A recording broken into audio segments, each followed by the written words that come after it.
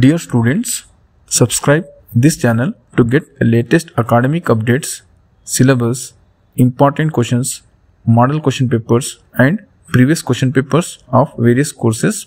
Dear students, in this video I am sharing BCom Computer Applications fourth semester subject Web Technology important questions. On screen you can see unit wise short and long questions. Students these important questions were taken from subject experts. Not only this subject, but other subjects. Important questions were also taken from subject experts. For other subjects, check out the playlist link which is available in description. All the best students for your upcoming exams.